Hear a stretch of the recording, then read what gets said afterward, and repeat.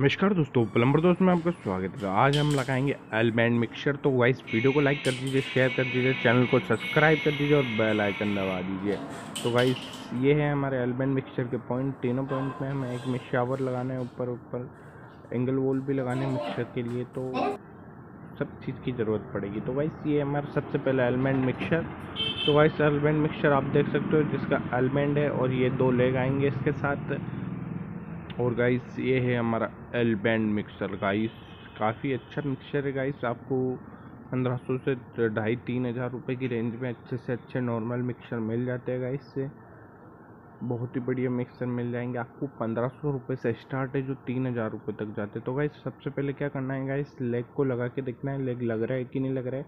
कभी कभी कभी क्या मिस्त्री क्या होता है, कर देता है कि थोड़ा बैंड होता है ब्रास एल्बो उसको थोड़ा इधर उधर हो जाता है तो फिर प्रॉब्लम आती तो सबसे पहले चेक करिए गाइस चेक करने के लिए गाइस से एक बार लगा के देख लीजिए, हो जाएगा। और उसके बाद क्या करिए टेपलॉन टेप लगा के अच्छे से टाइट करना पड़ेगा।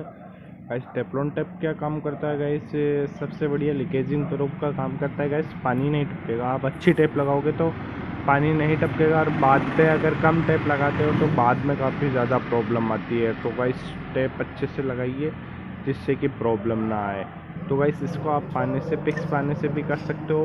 पिक्स पाने से अच्छे से नहीं कसने आता है तो सबसे बढ़िया है पाना रिंच पाना गाइस रिंच पाना या फ्लेक्सिबल पाने होते हैं, जिससे बहुत ही बढ़िया टाइट हो जाते हैं गाइस ये, जिससे कि आपको प्रॉब्लम भी नहीं आए और अच्छे से टाइट भी हो जाए। देखिए, आराम से रिंच पाना कितना बढ़िया चल रहा है और पिक्स पाने में काफ़ी प्रॉब्लम आती है गाइस तो आप रिंच पाना यूज़ करें, जो आपको अच्छा लगे वो यूज़ करें।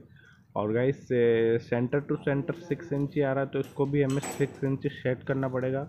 क्योंकि गाइस फटाफट सेट हो जाएगा। अगर आप साइज़ माप के नहीं करते हो तो फिर प्रॉब्लम आती है गाइस साइज़ मापने से काफ़ी बेटर होता है गाइस हमने ये सिक्स से six inch centre to centre हो गया है गाइस देखिए।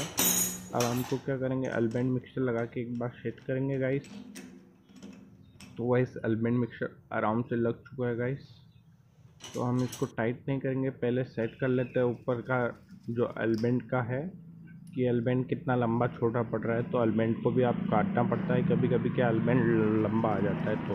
तो गैस ऊपर वाले को भी हम एक्सटेंशन निप्पल लगा के टाइट करेंगे। गैस इसको एक्सटेंशन निप्पल और जो हमारा कनेक्टर का एलबेंट का ऊपर वाला हिस्सा है, इसको अच्छे से रिंच पाने से टाइट कर लीजिए या पिक्स पाने से टाइट कर लीजिए। क्योंकि पिक्स पाने में थोड़ी प्रॉब्लम आती है तो सबसे अच्छा आप रिंच पाना से भी अच्छे से टाइट कर सकते हो या पिक्स पाने से भी आसानी से टाइट कर सकते हो। तो गाइस हमारे टाइट हो चुका है।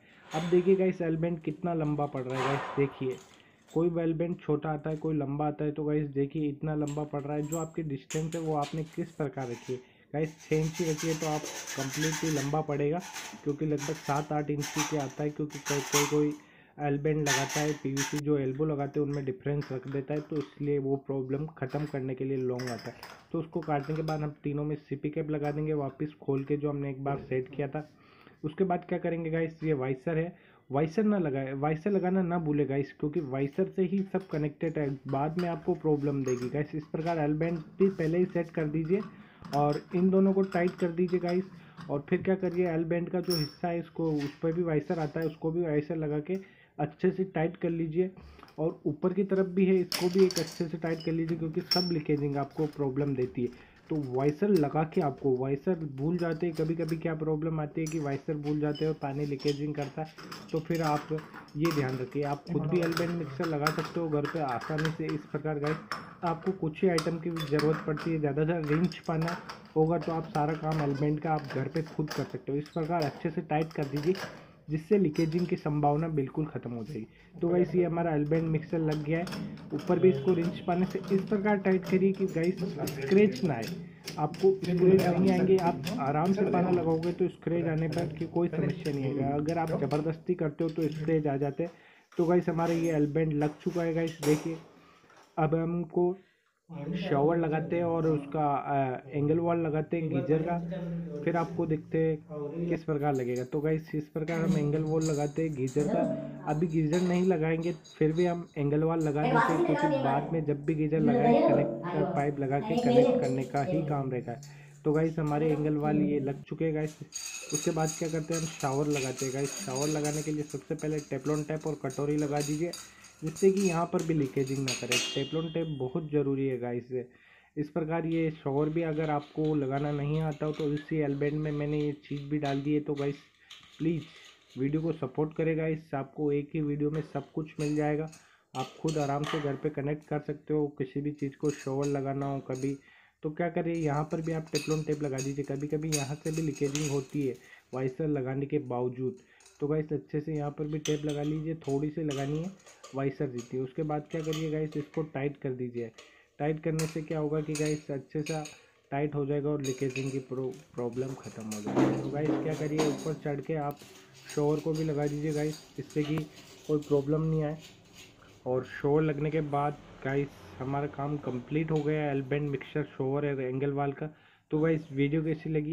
वीडियो अच्छी लगी हो तो लाइक करिए शेयर करिए चैनल को सपोर्ट कर दिए गाइस थैंक यू वीडियो के देखने के लिए.